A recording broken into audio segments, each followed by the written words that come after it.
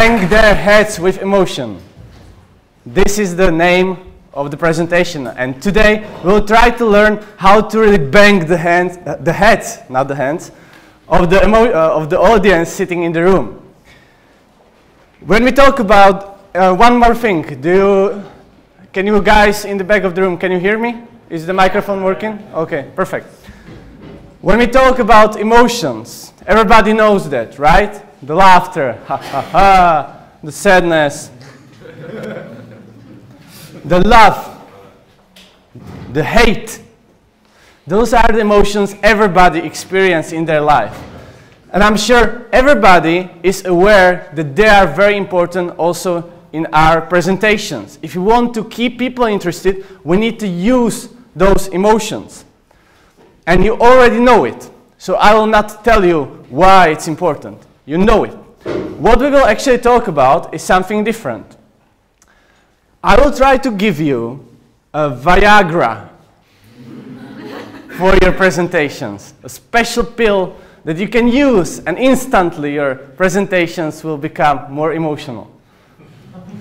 Is it possible? We'll see.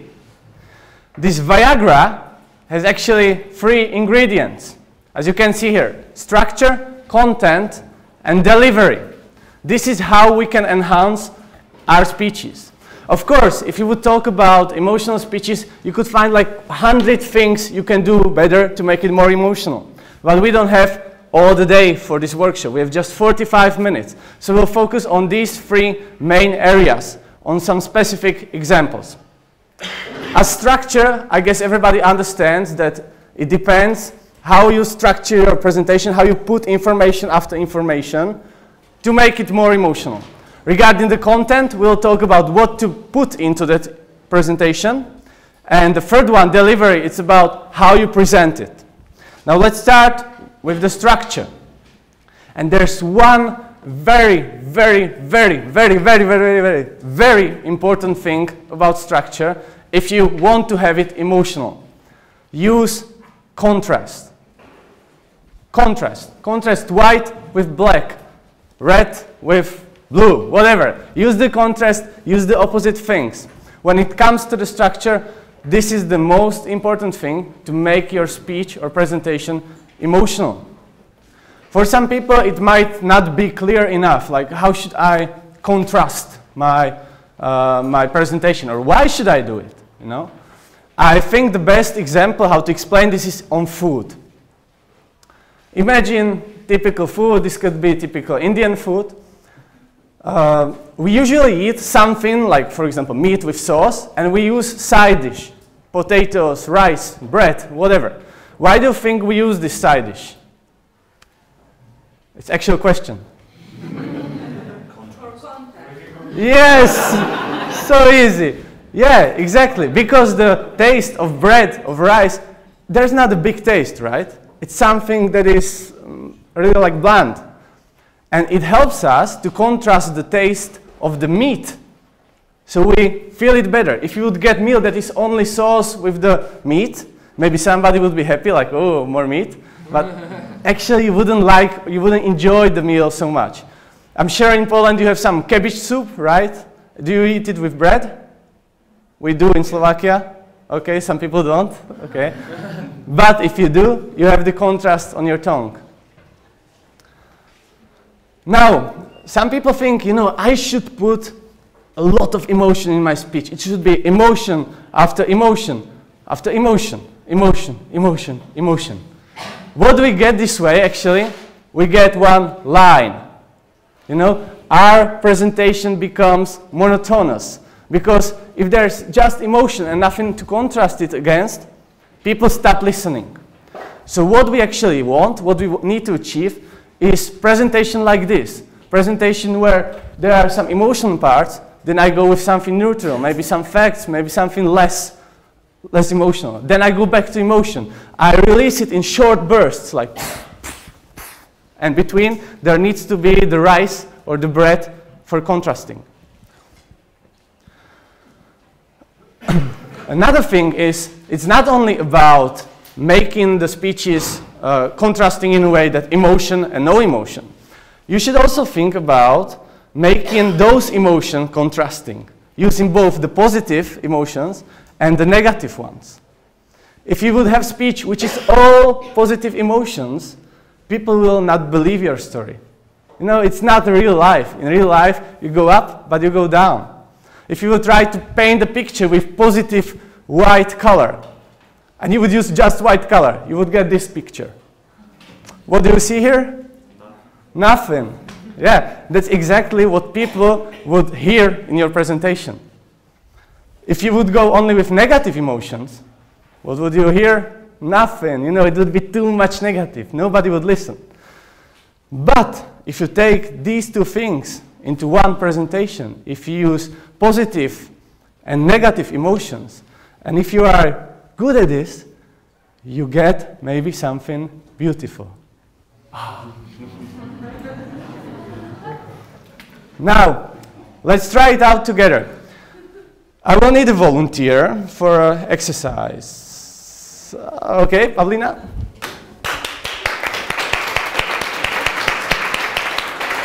Welcome. Our volunteer will try how is it to make speech just positive, and we will see if we like it. Okay? It will be short table topics, like two minutes. I will use this card. No, I will not use them now. Some topic? Or? Yeah, the topic can be first date or dating. Okay? It's how you approach it. And please show us presentation that is only good. Everything was good. Everything was just awesome. And we'll see if we like it. Okay, do you need 30 seconds to prepare? Oh, okay. You can start. Okay. Okay, so my first day, it was um, amazing. I think it was my the best day of my life. Uh, it was like uh, one year ago, and I remember everything. when I wake up, I just start thinking about uh, my partner, and we we just go to restaurant, but it was so beautiful. The, everywhere was flowers, and it was like from um, beautiful um, movies.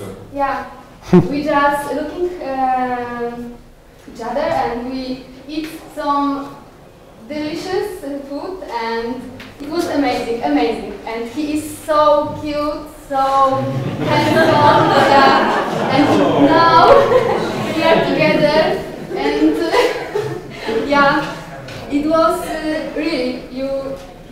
Yeah, really, it was the best day of my life. Okay, thank you.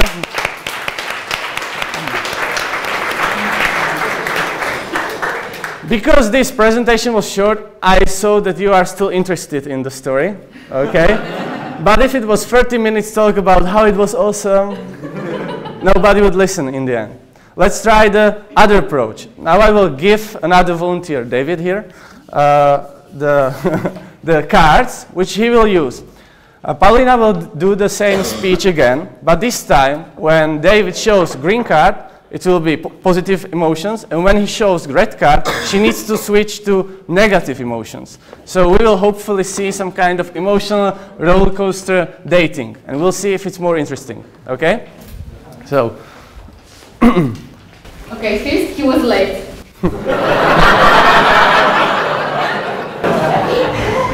and uh, I was a little hungry, but um, but he's so cute, you know. Yes, uh, he's amazing, and uh, he worked like um, a soldier, so you know, And, Um, but oh my God, uh, he talked uh, all the time about work. it was terrible, yeah. But next we just uh, started eating so delicious food and I just think, oh my god. In the restaurant there was a lot of people and everybody just talking, talking and sometimes it was uh, too loud and we can't talk. Who cares? We just.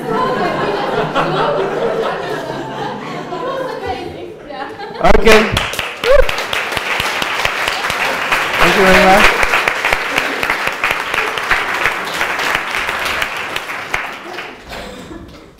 You could clearly see the second story was better, right?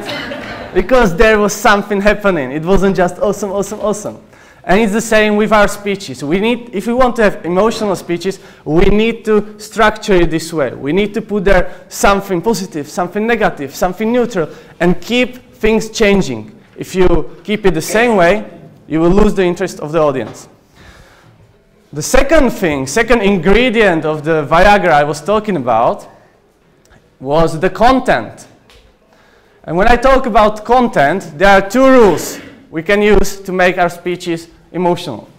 One of the rules is to make your speeches as a shorter story with richer descriptions. Remember this, this is very important. Short and rich, short and rich, short and rich. This will help you remember. it's covered. we, if we think about how to make it short and rich, what does Yaro mean by this? You know, normally when you prepare a presentation, you have some point and you usually support it with some kind of sub-stories, right? Sub-story 1, sub-story 2, sub-story 3. What you need to do if you want to do a really emotional presentation is cut out everything you don't need and keep just one story there. For example, sub-story 2. Then, with the space that you gained by cutting off everything else, you need to fill it with the rich descriptions. What does it mean, rich descriptions? It means you will talk about the things that were happening in that story, that you could hear, you could smell, you could see. All these descriptions. But rich doesn't mean pathetic. It doesn't mean that you should talk about everything that was in the room, right? If I will want to talk about uh, sad evening at home, I will not tell you my carpet was red, my walls were white, uh, my uh, lamps were neon, blah, blah, blah. It's not relevant to the emotion. You need to describe only the things that will trigger this kind of emotion in the minds of the audience. So if I'm sitting in that room and I want to give the sad, melancholic idea, what can I talk about? How can I describe the setting? Dark, gloomy day. Sorry? Foggy. Foggy, foggy or raining. The wind was uh, quilling behind the windows. The, the candle fire was flickering in the air. Those are the things that paint the picture of the audience. And this is what we need to do in our emotional speeches. We paint the picture. You don't need to exp explicitly say, it was a sad evening or I was sad. They will know it because you painted the picture with those things. So make your stories rich with relevant descriptions. The rule number two regarding the content will be using rhetorical devices. You probably know it from high school, right?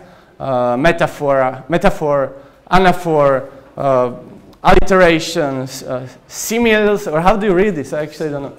Similes, similes, similes. All these things are present in all the famous speeches you know about.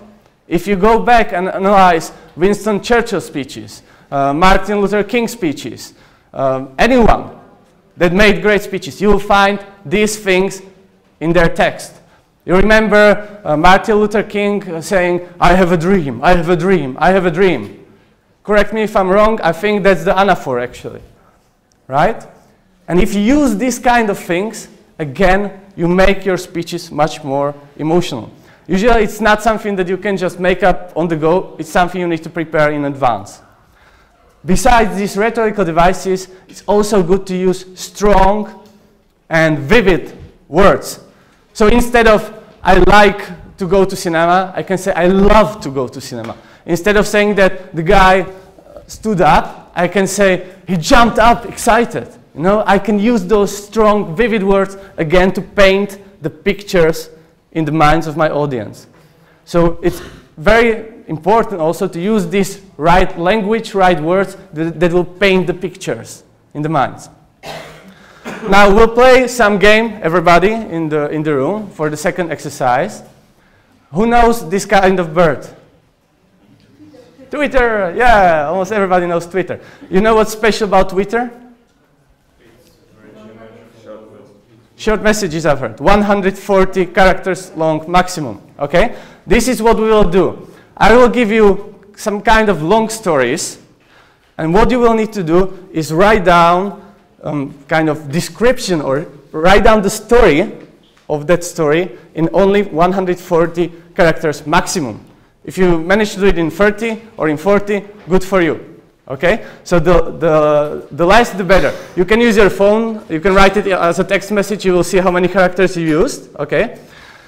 And if you think it's something impossible to make emotional story in 140 characters, it's not. There used to be some kind of contest online, and I happened to find one of the winners. Maybe some of you know it.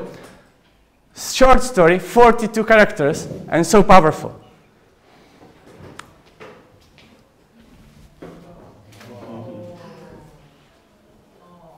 You see? And we can do this in all of our speeches, to use as little, but paint the pictures in the mind. And what we will use for this exercise, because I don't want to read you here long stories, we'll use movies, movies that you know.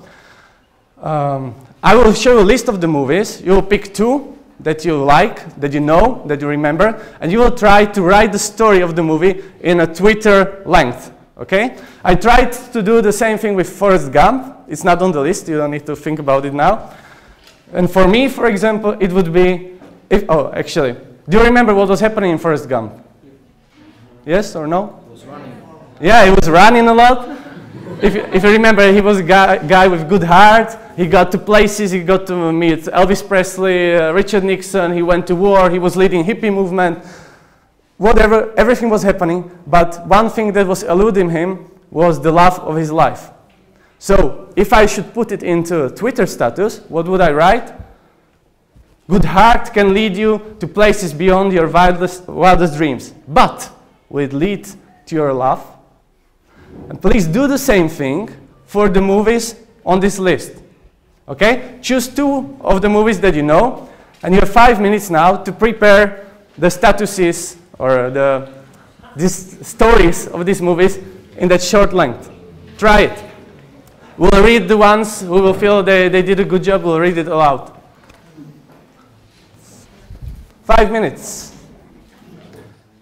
Okay, pens down and mobile phones. Let's see. So, who got something for Matrix? Okay, guys. Sorry, sorry. Can you stand up and talk loud? The system is in your head. Understand, accept, destroy, and live in here. Okay, thank you very much.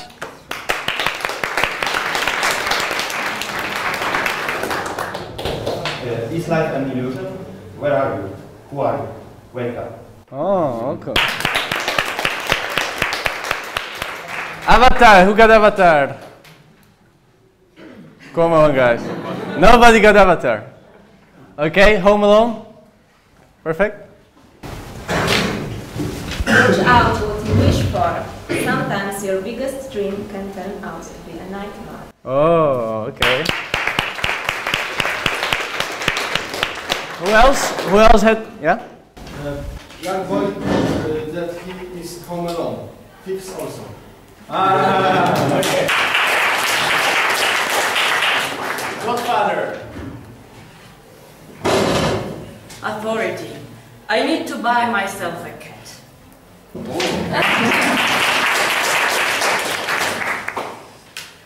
Are you afraid of gangsters? Make sure that after watching this movie you will not start to like them. Oh, okay. Star Wars. We are here as a Star Wars team. Okay. What about the Terminator? Terminator. You want it? Okay. It's not not worse, however. If a machine could learn the value of life, well, we cannot. Embrace your life, here, now, and ever after. Oh, Terminator or Terminator. Arnold, Arnold, have you killed everyone? No, but I'll be back.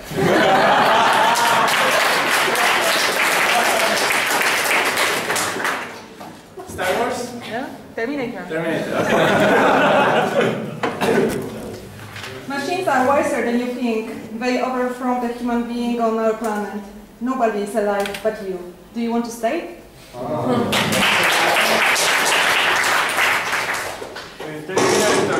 Economic and technological progress is, is a great thing, but uh, use your minds too, and don't forget to turn on, turn off the light when you leave uh, Babylon. Star Wars as a last thing. Sorry guys, we will got other things. Are you want it? Okay, Star Wars. Uh, you've got the power to change world for better or worse. It depends what you want and mentors you choose. okay.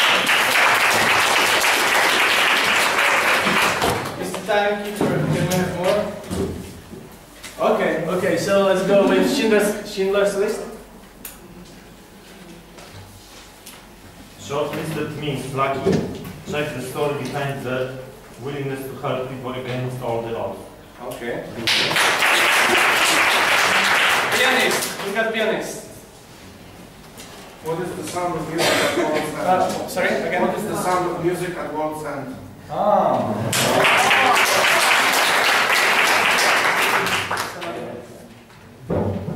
Beauty will save the world, art will save the souls. Nice.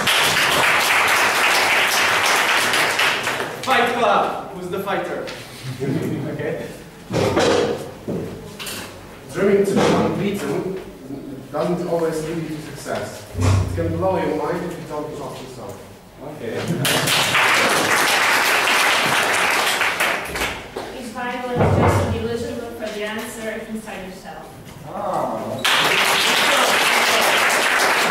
And I think we skipped Hobbit. Anyone who wants to sum up Hobbit? Okay. Every journey starts by one single step, but you also must make another step and another. Okay, thank you. Great, you've tested it. Now it's also your turn to test it in your real presentations that you'll have in Toastmasters. Let's continue with. Here is yeah, my thinking. Let's continue with the third thing, and that's delivery. Now, I still remember one speech that we had in our club in Brno. It was done by Peter Kruti, which is very, very experienced Toastmaster. And usually people don't have much things to tell him, like what he should improve, you know, it's already getting uh, tiring. But one day he had to prepare emotional speech. And he did well in the preparation. He chose a topic that was really emotional. It was about single mother uh, being fired from the job. Her boss was making advances on her. You know, there was a lot of uh, tension and a lot of things that were happening, uh, good ones and bad ones. And I remember that Peter, you know, as his experience, he used body language. He uh, used vocal variety. But still, in the end of this thrilling speech, I didn't feel a single emotion. Am I a monster? no! Peter did something wrong, or actually he forgot something. He forgot the key thing for every emotional speech. Can you guess what it is? Face expression. Face expressions, mimics, exactly. Mimics are the, are the window to emotional soul, okay? I just made it up. Mimics is basically how you show the audience what they should feel. Peter had his speech with poker face. He didn't change his face when he was talking about shouting. He didn't change his face when he was talking about crying. And that's why I didn't believe in these emotions. But if you try yourself in your presentation and you start smiling wildly at people, you will see more and more faces in the room will start smiling back. And if you talk about your grandmother's funeral and it's something sad, and you will show the sad face, how it touched you inside, you will see that people will start mimicking your face. They will do the same thing. And this way, they will feel the same emotion you want to do in their minds. So mimics is extremely important thing if you want to have emotional presentation. Or at least emotional moment in your presentation. Okay. Uh, another illustration of this is maybe I would say everybody knows emoticons, emoticons. uh, How would you read that? You know the smiley faces from Facebook, from mobile phone. Why do you think they are using faces for showing emotions? Because faces show emotion, right? That's why they call it emotional icons, emoticons. Actually, I can't show my whole body. That's why I use emoticons. Ah, okay, you can't show your body, some people can, I know they do. but this is another illustration of emotions through faces. The second thing about delivery is the vocal variety. It's not enough if you just use this one and you forget about facial expressions, as we saw in the uh, example with Peter, but this is also extremely helpful for making emotions in the audience. And you most probably know how to vary your voice, right? What kind of variety we can use in uh, our speeches? What can we change? Loud, quiet, Loud, quiet, fast, slow. fast, slow, Pitch. Whisper sometimes. whisper, shout, pitch. Yeah, all these things we can use to contrast our voice, right? The contrast is back in full power. We need to contrast also our voice. We need to go for a while. We can. We need to go fast, fast, fast. Bam. Then we slow down. We need to go louder for some part of the presentation. Then we go more quiet. To keep people interested, to have the contrast there also in the voice. Another thing that we can use is, of course, stressing the words. Important things stressed. and using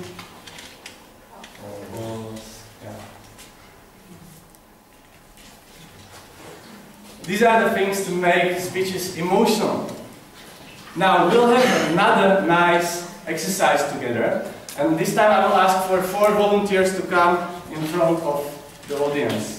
Four volunteers. One, two, three. One more, one more. Four.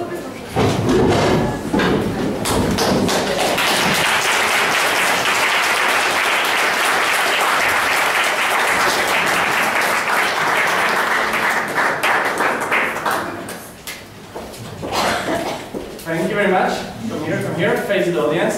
Now, I will show you one uh, really not emotional word, or actually it's uh, three words or two words. yeah? Piero bis. Can you, David, can you read that? Pierogi orgasm. Pierogi orgasm. Okay. You can read it the way you want. The, the important thing is the word itself, it's not making much emotion for most of the people. But we'll use what we've just learned about mimics and vocal variety to show that we can actually project emotion into anyone. So, guys, I will tell you how to, uh, I will tell you always emotion, and you try to say that Pierogi z mięsem in that emotion. Okay? If I tell you angry, you say Pierogi z mięsem. If I tell you other emotion, you do that. And I always will read the emotion and you will go one, one, one, one, one, one, one, one. Okay? And we'll see, we'll watch how they can do it. So, let me just load my. Yeah. Okay, David, you start with neutral. Neutral.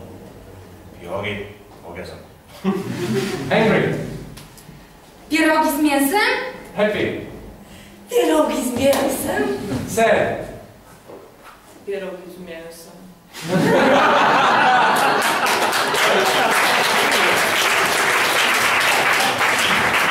Bored. Pierogi mięsem. Embarrassed. Pierogi z mięsem? Excited. Pierogi z mięsem! Sexy.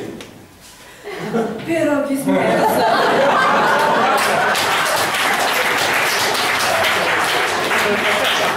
Last set. Shamed.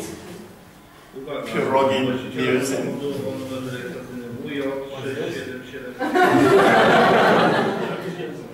That's a different emotion. Okay. Unbelieving. Pierogi z mięsem? Sleazy. sleazy. It's like sleazy. Uh, Pierogi z mięsem. Broken. Pierogi z mięsem. Okay, thank you very much.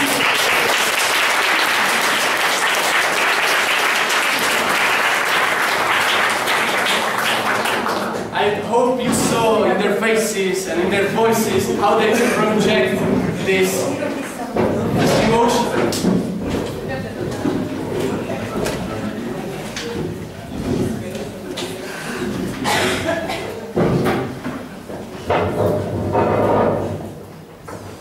Okay?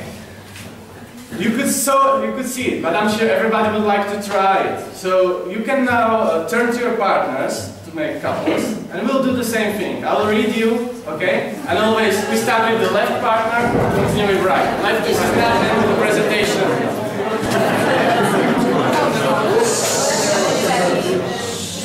I see it got you really excited. That's great. That's great. But it's time to sum up the presentation so that you remember everything that we said. I hope you will, of, course, you will not remember everything, but I hope you will remember at least something that will help you. So to sum up, enough of Viagra, Viagra. Let's go with what are the three key fields where we can enhance the speeches? Structure, content, delivery. Perfect. What about structure? What is the important, most important thing is contrast. Exactly. How about content? What was the rule? First rule? Rich.